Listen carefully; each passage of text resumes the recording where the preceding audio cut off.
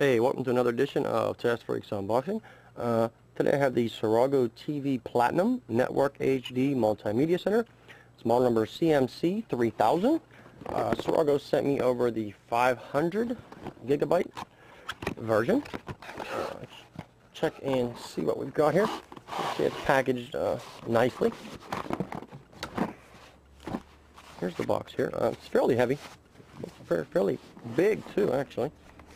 Let's I move the camera down. All right. Wow. Um, okay. I'll get it out. Looks like we got a fan on the bottom down here. Since we're at the bottom, let's look at it real quick. Uh, we got feet. We got our fan. More ventilation. Okay. Uh, here's the front. It's got a little plastic protective covering on it. Uh, the power button here. Left side. Got um three USB ports and one memory card slot. Uh, left side, yeah. Right side, nothing. Back side, got power, AV, HDMI, optical, and LAN. Uh, no component, apparently. But uh, that's the box here. That's got some sharp edges on it. Ouch. As you can see, it's uh, fairly big. Included with it.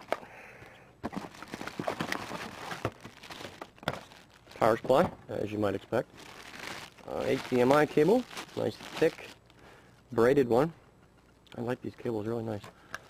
Uh, we've got one set of, no, it looks like two sets actually, doesn't it? Uh, let's find out. Yep. AV cables, batteries for the remote, uh, USB cable, standard one there. And of course we have a remote control. A big remote control actually. Battery compartment on the back. There's all of our functions here. Little focus, there it goes. Browser, copy, music, uh, TV system, record. All the uh, you know, standard functions you might expect to find. Here's our user manual, quick start guide, and a uh, wireless adapter advertisement.